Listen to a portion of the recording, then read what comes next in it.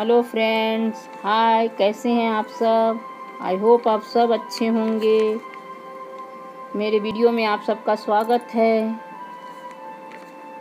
बागों में फूल खिलते रहें, रात में दीप जलते रहें। दुआ है भगवान से आप सभी खुश रहें। बाकी हम भी आपके लिए दुआ करते रहेंगे।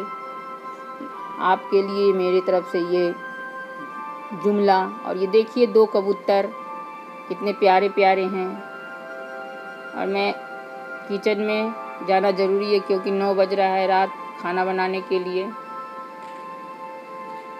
और ये बोले कि लाओ, मैं आटा सान देता हूँ और तुम मसाला पीस लो ठीक है, लीजिए, सान दीजिए आटा। और मैं मसाला पीस लेती हूँ, नेकी और पूछ पूछ।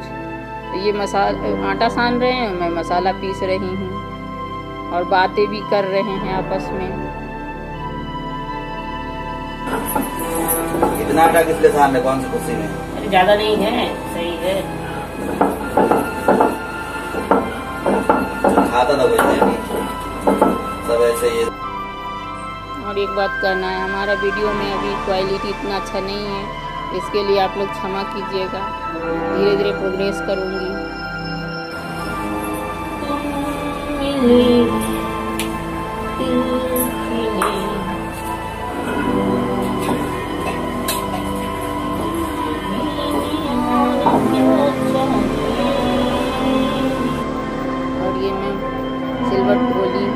लोढ़ा भी धोली अब इसे हाथ भी धोली अब मैं जा रही हूँ सब्ज़ी बनाने गैस पर।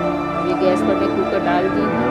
और कुकर में तेल भी डालती हूँ इसमें तेल थोड़ा ज़्यादा डालती हूँ इसमें मसाला, सभी मसाला डालती हूँ। धनिया पाउडर हल्दी पाउडर मिर्च, लहसुन, सरसों का पेस्ट सब डाल के अच्छी तरह से फ्राई की ये जब तक अच्छी तरह से फ्राई नहीं होता है, तब तक मैं इसमें कंदा नहीं डालती और ये फ्राई होने बाद मसाला तभी मैं कंदा कंदा को डालते के साथ इसमें तुरंत पानी डालती हूँ, क्योंकि कंदा को अगर और नमक भी डाल देती हूँ, क्योंकि कंदा को अगर ज़्यादा फ्राई कर देंगे तो कम, कंदा हो जाएगा टाइट और ये सब फिर कभी भी पकेगा नहीं, चाहे कितना भी सीटी लगा लीजिए, ये पकेगा नहीं।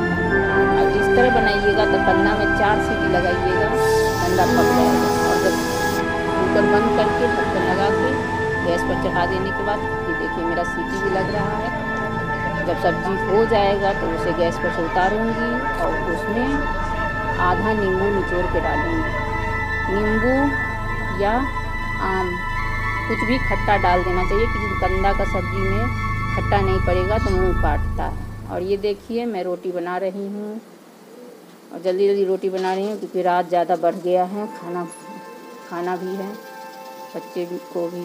और ये मैं चकला के नीचे कपड़ा लगाती हूँ। आप लोग सोच रहे कपड़ा कैसा रखा हुआ है तो कपड़ा चकला के नीचे इसलिए लगाती हूँ कि परथन इसी पर गिरे और चकला भी थोड़ा हिलता है इस वजह से। और यहाँ मग्गा में पानी रखती हूँ हाथ धोने होने के लिए।